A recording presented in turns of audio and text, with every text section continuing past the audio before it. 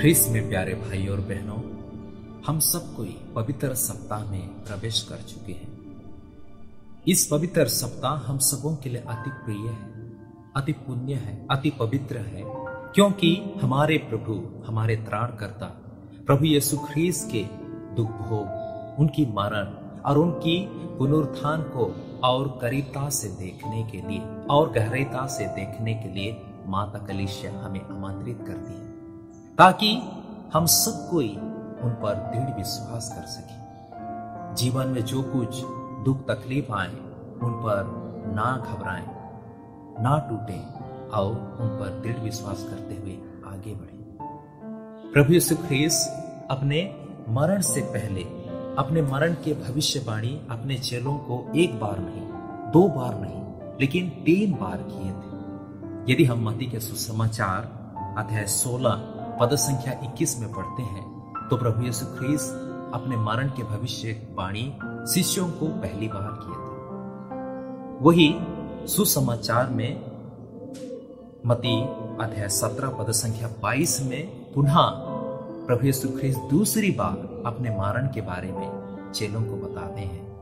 और अंत में तीसरी बार उसी मती के सुसमाचार अध्याय 20 पद संख्या 18 में अपने मरण के भविष्य के बारे में शिष्यों को बताते हैं। इन तीन बार अपने मरण के बारे में भविष्यवाणी चेलों को बताते हुए भी शिष्यों ने उस समय उन्हें विश्वास नहीं किया।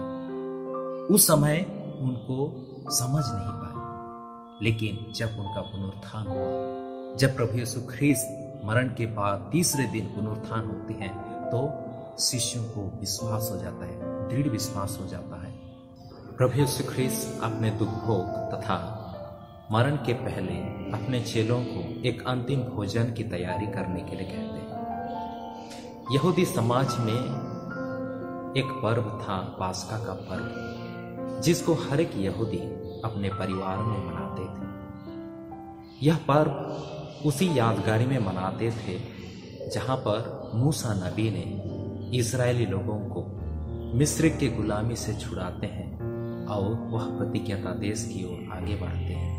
और इसी यादगारी को सहर्ष वे मनाते थे। और इसी के दौरान प्रभु यीशु ख्रीस्त यहूदी होने के नाते वे भी अपने शिष्यों के साथ में यह पर्व मनाने का तय करते हैं और चेलों को इसकी तैयारी करने के लिए कहते हैं। और आज यही पर्व, या अंतिम प्यारी का पर्व या अंतिम भोजन का पर्व हम पवित्र गुरुवार को मनाते हैं। आज पवित्र गुरुवार है और आज के पूजन विधि में चार भाग है। सबसे पहला, पैर धोना। दूसरा, पवित्र युखरिस्त की स्थापना। तीसरा पुरोहितय और चौथा, पवित्र युखरिस्त की उपासना। सबसे पहला, पैर धोना। संत योहन के सुसमाचार, अध्याय तेरह पद संख्या चार और पाँच में हम पढ़ते हैं। उन्होंने भोजन पर से उठकर अपने कपड़े उतारे और कमर में अंगोछा बाँध लिया। तब वह परात में पानी भरकर अपने शिष्यों के पैर धोने और कमर में बांधे अंगोछा से उन्हें पोछने लगे। यहूदी समाज में पैर धोने की प्रथा थी, जो अमीर घरों में यह काम एक सेवक का था। लेकिन गरीब परिवार में, परिवार के सदस्य ही अतिथियों को पैर धोते थे, उन्हें स्वागत करते थे, उन्हें अपने घर में खाना परोसते थे। और इसी तरह हम देखते हैं कि यहूदी समाज में इस प्रकार की भेदता, भेदभाव थी। एक गरीब, एक सेवक का काम क्या था? एक गरीब परिवार का कर्तव्य क्या था? एक धनी परिवार का कर्तव्य क्या था? लेकिन इसी भेदभाव को दूर करते हुए प्रभु यीशु ख्रीस्त, वे जानते थे कि वे ईश्वर के बेटे हैं। वे उसी राज्य से आए हैं, जिस राज्य में ईश्वर है, स्वर्गदूत है, सभी संत हैं, और वही राज्य से आने के बावजूद भी वे अपना कपड़ा उतारते हैं। अर्थात ऊपरी कपड़ा उतारते हैं। उसका अर्थात है अपना शक्ति, अपना बल, अपनी महिमान्वित, अपनी राजकीय ताकत को उतारकर एक सेवक की तरह अपना कर्तव्य को पूरा करते हैं। वे अपने चेलों के पैर धोते हैं। पैर धोते समय जब वे पेतरुस के पास आए तो पेतरुस ने उन्हें अपने पैर धोने से मना करते हुए कहते हैं मैं आपको अपने पैर कभी नहीं धोने दूँगा। और इसके उत्तर में यीशु ने कहते हैं, यदि मैं तुम्हारे पैर नहीं धोऊँगा तो तुम्हारा, मेरा साथ कोई संबंध नहीं रह जाएगा। इसका अर्थ है कि यदि हमें प्रभु से जुड़ना है, यदि हमें प्रभु की दया, प्रभु की क्षमा प्रभु की कृपा यदि हमें चाहिए तो केवल और केवल प्रभु के रक्त से ही हमारा पाप होती है। प्रभु अपने रक्त से हमें धोते हैं। हमारे पूरे शरीर को बदन को धोते हैं। हमें पाप से मुक्त करते हैं, क्षमा कर देते हैं। इसका यही प्रतीक है। ख्रिस्त में प्यारे भाई और बहन, हमारे आदिवासी में भी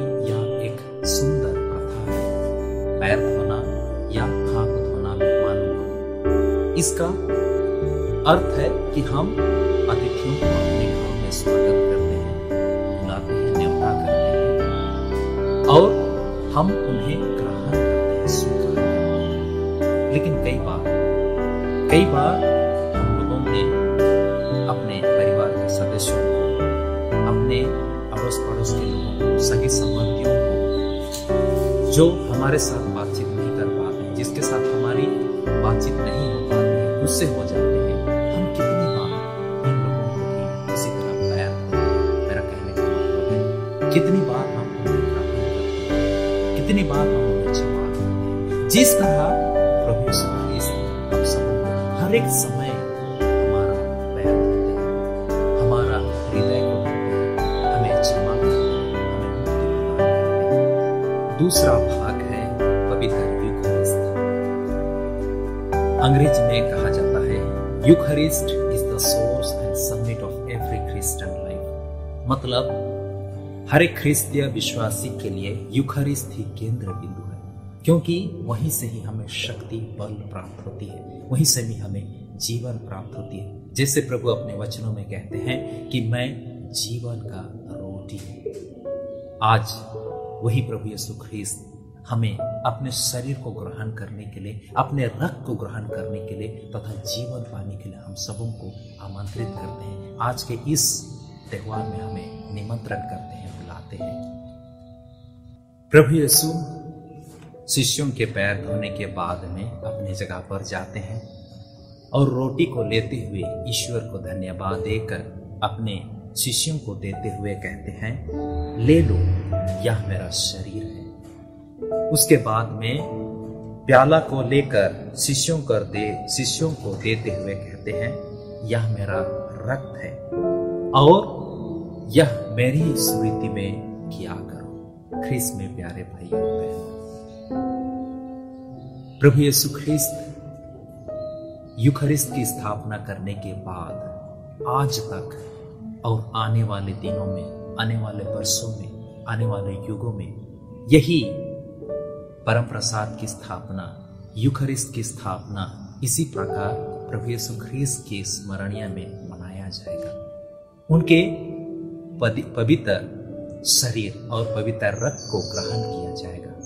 जिस शरीर में, जिस रक्त में जीवन है, जिस शरीर में, जिस रक्त में मुक्ति है, पाप क्षमा है, और उसी शरीर को ग्रहण किया जाएगा।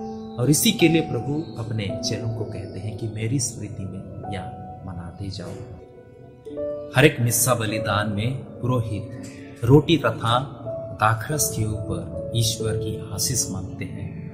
आशीष प्रार्थना के बाद वह रोटी रोटी नहीं रहती और वह दाखरस दाखरस नहीं रहता। लेकिन वह रोटी प्रभु यीशु के शरीर और दाखरस प्रभु यीशु के रक्त में परिवर्तन हो जाते हैं, जिसको हम अंग्रेज़ी में कहते हैं ट्रांसब्सटेंशिएशन जिसका अर्थ है हम देखते तो हैं कि वह रोटी और दाखरस लेकिन प्रभु यीशु ख्रीस्त के शरीर और प्रभु यीशु ख्रीस्त के रक्त में परिवर्तन हो जाते हैं। एक बार एक पुरोहित मरने के बाद में स्वर्ग की ओर जाते हैं। और दरवाजे के सामने वे पेतरुस से मुलाकात करते हैं और पेतरुस से प्रभु यीशु ख्रीस्त को देखने की इच्छा ज़ाहिर करते हैं। वे कहते हैं कि मैं जीवन भर प्रभु यीशु ख्रीस्त को पवित्र मीसा बलिदान में चढ़ाया। प्रभु यीशु ख्रीस्त को लोगों के बारे प्रभु यीशु ख्रीस्त के बारे में लोगों को बताया। मैं अभी अपनी आँखों से देखना चाहता और पेतरुस कहते हैं कि हे पुरोहित, तुम प्रतिदिन प्रभु यीशु ख्रीस्त को देखते थे, वही मीसा बलिदान जब वह अपना शरीर और अपना रक्त को उसी रोटी और दाखरस में परिवर्तन करते थे उस समय आपने उन्हें देखते थे। प्रतिदिन आपने उन्हें देखते थे। ख्रीस्त में प्यारे भाई आज यही सुनहरा मौका एक क्रिश्चियन होने के नाते हम सबों को भी प्रदान किया गया प्रभु यीशु ख्रीस्त, इसी यूखरिस्त की स्थापना के माध्यम से वे हमारे साथ हरदम रहते हैं। यूखरिस्त में वे अपना जीवित उपस्थिति हमें प्रदान वे हमें अपने शरीर को ग्रहण करने रक्त को ग्रहण करने और जीवन पाने के लिए हमें आमंत्रित करते हैं क्या मैं इस यूखरिस्त में, क्या मैं सहृदय से सहभागिता होता हूँ क्या मैं इस यूखरिस्त में जो वचन सुनता हूँ, क्या मैं इस वचन को साहस ग्रहण करता हूँ? क्या मैं योग्य रीति से प्रभु को ग्रहण करता हूँ? तीसरा है पुरोहित हम जानते हैं, एक पुरोहित का जीवन हम हम सबों के लिए कितना महान है। वे ईश्वर से प्रेरित किए हुए व्यक्ति हैं। वे हमारे लिए वही प्रभु यीशु को प्रतिदिन मीसा बलिदान में लाते हैं। हमें प्रभु यीशु की क्षमा प्रदान करते हैं। उनकी जीवन पवित्रमय जीवन है, क्योंकि वह पुरोहित का संस्कार वे ईश्वर से प्राप्त किए वह बुलाहट को प्राप्त किए आइए तब इसके बारे में हम आदरणीय फादर अनिल कुमार हुजूर से सुने। कृष्ण में प्यारे भाइयों और बहनों, आज पवित्र बृहस्पतिवार व मुंडी थर्सडे है। आज के दिन अंतिम बिहारी के अवसर पर प्रभु यीशु कृष्ण ने अपने शिष्यों के साथ अंतिम बिहारी में बैठे और उसके दौरान रोटी लेते हुए अपने शिष्यों को देते हैं और कहते हैं, लो, खाओ, यह मेरा शरीर है। उसी भांति वे दखरस लेते हुए प्रार्थना के बाद अपने शिष्यों को देते हैं और कहते हैं, लो, यह मेरा रक्त है। इसी भांति प्रभु यीशु ख्रिस्त ने अंतिम बिहारी के समय यूखरिस्त की स्थापना की और अपने शिष्यों को इसका यादगारी में करने के लिए आदेश दिए और वे पुरोहित संस्कार की स्थापना की। प्यारे भाइयों और बहनों पुरोहित ईश्वरीय बुलाहट है। ईश्वर अपने राज का प्रचार, प्रसार और प्रतिष्ठा हेतु पुरोहितों को बुलाते हैं। पुरोहित समर्पित का जीवन है, पवित्रता का जीवन है और पुरोहितों का पवित्रता न केवल उनमें आधारित है, लेकिन लोक धर्मियों ख्रिस्तीय परिवार और कलिसिया में आधारित है। यदि लोक धर्मी पवित्र हैं, पवित्र परिवार बनते हैं, पवित्र कलिसिया से ही हम लोग पवित्र पुरोहित पा सकते हैं। और पवित्र पुरोहित हमें पवित्र बनने में, लोक धर्मियों को पवित्र बनने में मदद करते हैं। यारे भाइयों और बहनों बृहस्पतिवार हम लोगों के लिए महान और महत्वपूर्ण दिन है। जब प्रभु यीशु ख्रिस्त ने यूखरिस्त की स्थापना करते हैं, पुरोहित की स्थापना करते हैं, आज हमें गौर करना चाहिए और विशेष करके हमारे धाम प्रांत के लिए, महामन्यावर बिशप स्वामी के लिए और धर्म प्रांत के सभी पुरोहितों के लिए प्रार्थना करनी चाहिए, क्योंकि जो वे समर्पित जीवन जीना है, ईश्वरीय राज का प्रचार, प्रसार और प्रतिष्ठा करने का कार्य करना है आज का परिस्थिति में। आज का समय में उतना आसान नहीं है। इसके लिए ईश्वरीय कृपा, ईश्वरीय अनुग्रह की ज़रूरत है।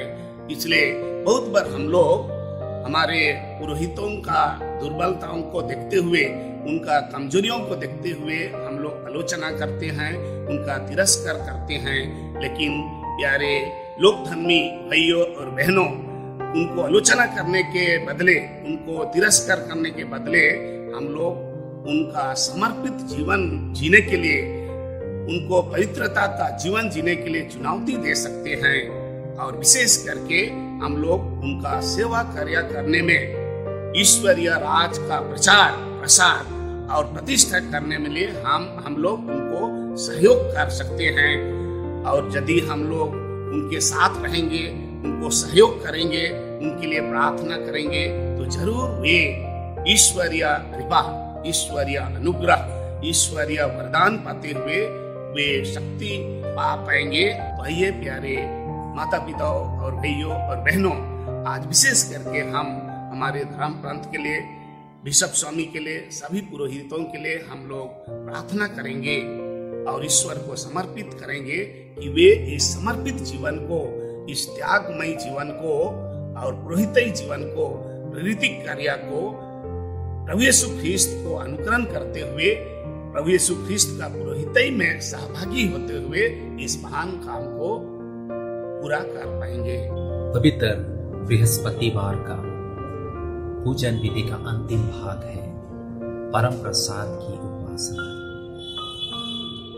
अंतिम भोजन के बाद प्रभु तथा उनके शिष्य अपने आदात के अनुसार जैतून पहाड़ की ओर जाते हैं। यदि सुसमाचार में देखें कई बार, कितनी बार हम लोगों ने देखा है कि रात भर प्रभु यीशु ख्रीस्त प्रार्थना करते हैं, अपने पिता से बातचीत करते हैं।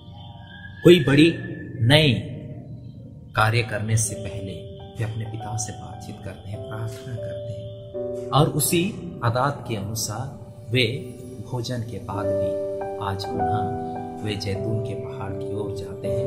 अपने शिष्यों को कुछ दूर में छोड़कर वे एकांत में जाते हैं और प्रार्थना करते हैं। वे सबसे पहले अपने पिता से कहते हैं, पिता यदि आपकी इच्छा हो तो यह प्याला मुझसे हटा दिया जाए लेकिन मेरी इच्छा नहीं, लेकिन आपकी इच्छा पूर्ण हो जाए।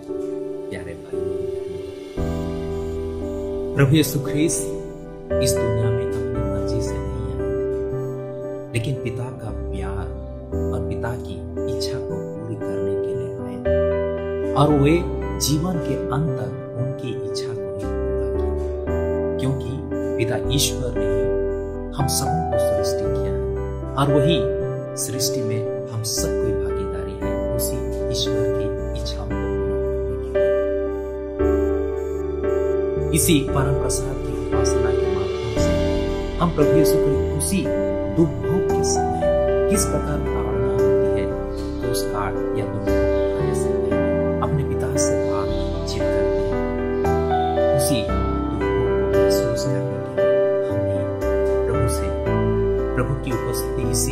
इसी प्रसाद के ज़रिए से हम आराधना निरंतर उनके साथ समय बिताते ताकि हम भी अपने मुश्किल दिनों में, हम भी अपने दुख तकलीफ़ दिनों में सफल हो जिस प्रकार प्रभु यीशु ख्रीस्त अपने दुखों में, अपने मरण में सफल हुए और वे पुनरुत्थित हुए। हम भी अपने जीवन के प्रतिदिन के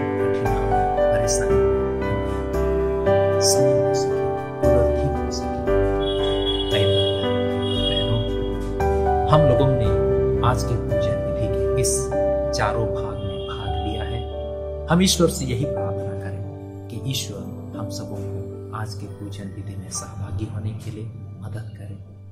हर एक विश्वासियों को, हर एक लोगों को सेवा करने के लिए शक्ति, बल प्रदान करें। पवित्र युखारिस्त में योग्य रीति से भाग लेने के लिए सहायता करें।